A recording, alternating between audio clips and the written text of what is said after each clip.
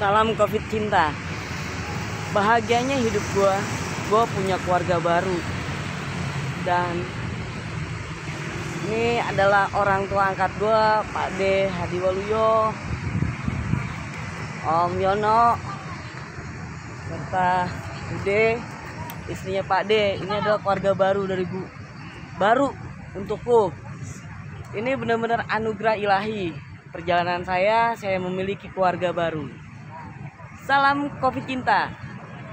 Nantikan terus jalan ceritanya di narasi 10.